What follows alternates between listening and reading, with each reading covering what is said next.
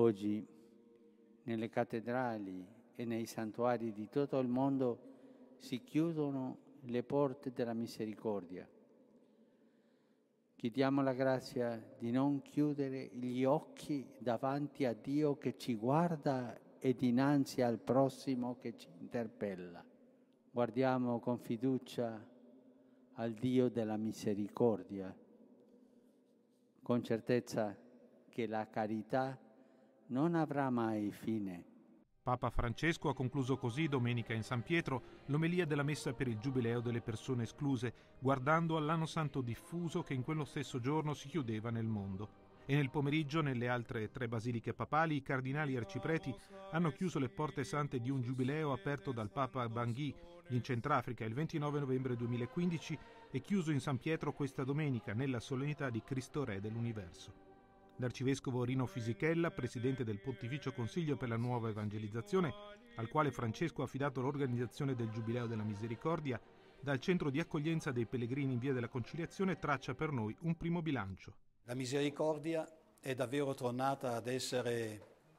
il cuore pulsante della vita della Chiesa e da questa prospettiva adesso eh, non solo il Giubileo è riuscito, ma la grande sfida è come continuare a vivere della misericordia e ad essere operatori di misericordia. A Roma agli eventi, attraversato la Porta Santa, all'Angelus, sono venuti almeno 21 milioni di pellegrini. Ma questo anche per la prima volta è un giubileo che si è aperto in tutto il mondo.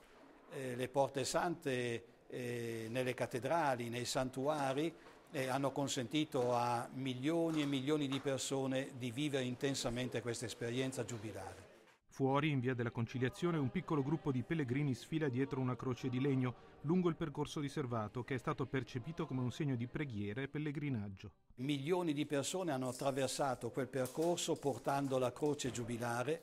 e hanno dato eh, alla città, hanno dato ai turisti, a quanti eh, erano presenti, eh, i milioni di turisti presenti in via della Conciliazione, hanno dato il segno che eh, anche eh, nel caos della città si può pregare e si può vivere il giubileo come un'esperienza spirituale. Poi però non possiamo eh, neppure dimenticare, eh, penso alla muraglia di persone che ha accolto le reliquie di Padre Pio e di eh, Padre Leopoldo. Eh, certamente non posso dimenticare il giubileo dei carcerati, dove per la prima volta più di mille detenuti eh, hanno vissuto da protagonisti, hanno servito la messa al Papa, hanno fatto le letture in San Pietro e così anche eh, tante persone socialmente escluse, senza una casa, senza un tetto, i disabili, eh, per la prima volta disabili mentali hanno visto sul Sagrato di San Pietro eh, mimare il Vangelo perché lo potessero capire nel loro linguaggio. Eh, sono una serie di fatti che eh, non fanno altro che dare i volti attraverso i quali la misericordia si è espressa. Monsignor Fisichella ha negli occhi e nel cuore tutti i gesti straordinari di Papa Francesco in questo anno santo, che sono stati esempi importanti per le chiese locali. La visita al campo profughi dell'isola di Lesbo e il ritorno con un gruppo di rifugiati in aereo ha spronato tante parrocchie ad accogliere i migranti. Immagini eh, di Papa Francesco nella sua semplicità, eh, penso ad esempio ai venerdì della misericordia,